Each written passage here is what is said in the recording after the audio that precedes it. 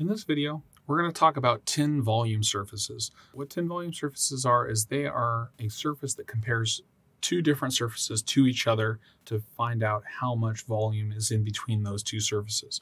And this is important because if you have a surface that's, for example, our existing surface, and you have a surface that is some form of amount of grading or work that you want to take place, then you can find out exactly how much import or export you need to have in order to complete that work.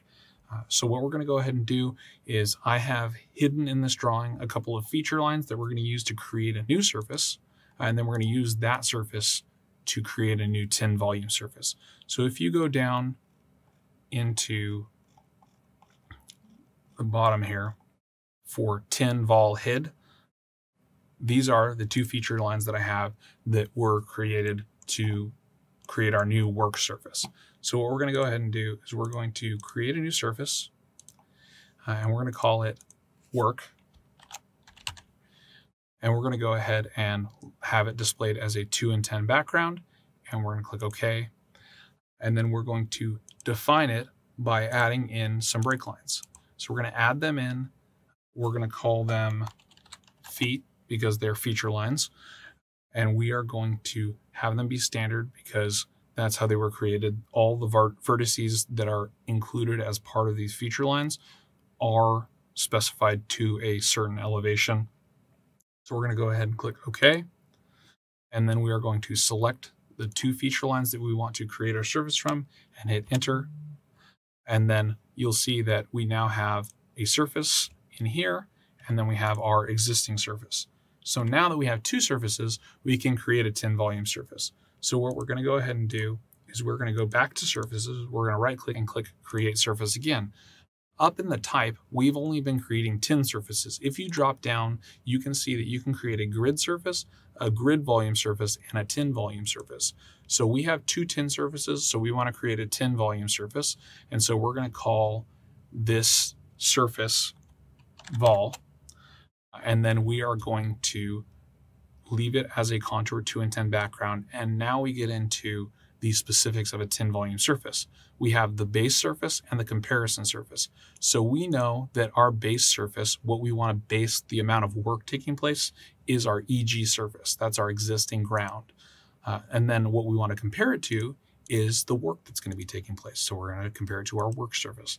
So we're going to click OK if you had cut and fill factors, so if you had expansion for the amount of cut that was coming out, or you had a compaction of the amount of fill that's going in, you could implement cut and fill factors.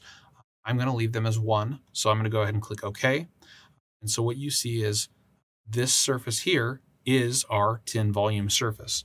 And so that tin volume surface can be analyzed by going to it and right clicking and going to surface properties and looking at statistics and you can drop down volume and find out all of this information, the cut volumes, the fill volumes, the net cut, the net fill, and that kind of information.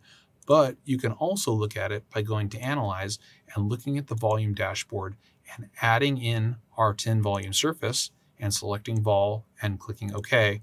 And what this does is it brings up a table of all that information as well. It gives you your 2D area, your cut, your fill, uh, your net adjusted, so uh, it lets you know basically, do you have more fill or do you have more cut? And this is telling us that our job is weighted more towards fill.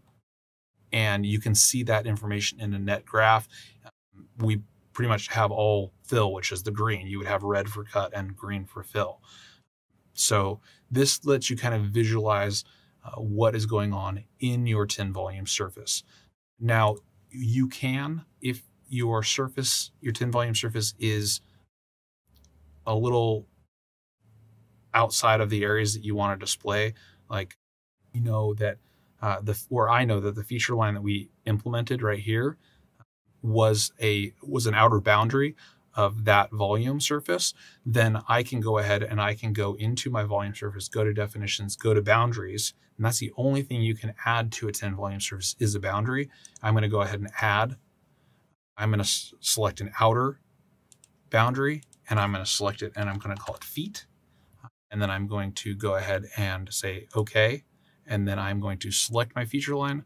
And now uh, you can see that feature line boundary is selected And if I go and I select this, now you can see that curve here is displayed as my volume surface. And if there was some extra work taking place here, that would be uh, also shown inside of my volumes dashboard. So these numbers might be different based on the boundary that I apply to my volume surface.